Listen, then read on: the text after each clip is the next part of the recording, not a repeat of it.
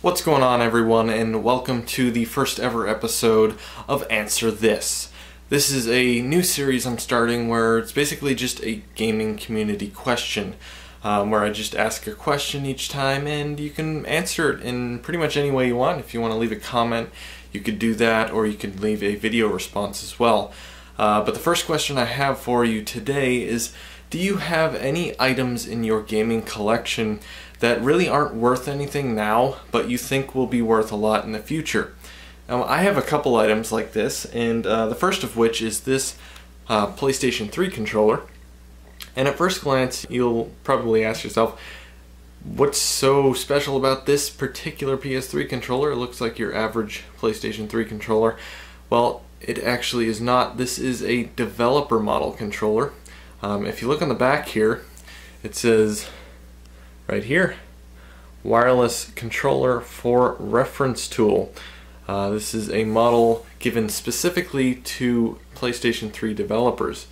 Um, there isn't a whole lot special about this. You actually can't even use this with a PlayStation 3 because it does not work with the newer PlayStation 3 firmwares. This will only work on a non-updated old PS3. So it's pretty useless, but a very cool collector's item nonetheless. Uh, there's one unique feature about this particular controller, and that is that the PlayStation button in the center here will glow red. Now, if you remember when the PlayStation 3 was first announced, um, they uh, actually showed the controller with the PlayStation button glowing red. So it's a pretty cool feature, and it only works when it's plugged in, and I'll show you that now. Yeah, that that is the uh, PlayStation button glowing red. It's pretty cool. Uh, but yeah, this controller really isn't worth much now. Um, but I think in the future it's going to be worth a lot of money and probably going to be a nice collector's item. So the next item I have is uh, this Halo Reach uh, preview disc. Uh, this preview disc was given out to uh, testers of the new dashboard for the Xbox 360, which was uh, to enable uh, compatibility with a new disk format for the 360. Um, as you can see on it,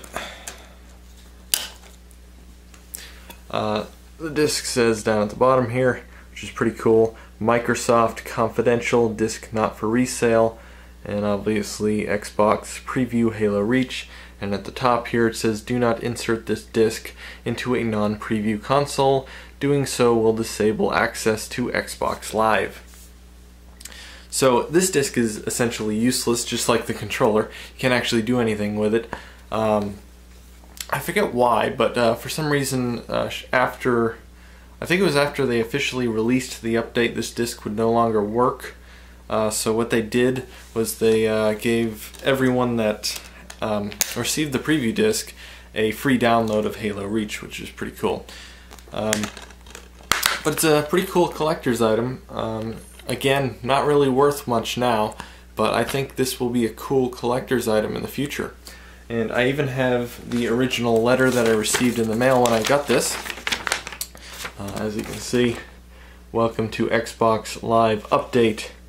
We're excited to have you participate in the Xbox Live Update program and look forward to your active involvement.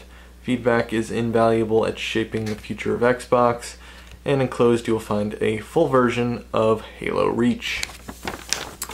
But uh, yeah, it's a cool little collector's item. I think it will be worth a good amount of money in the future. Right now, it's pretty much worthless.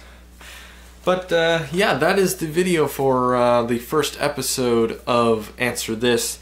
Um, do you have anything like this in your collection? Do you have anything that's pretty much worthless now but you think is going to be a good collector's item in the future and potentially worth a good amount of money?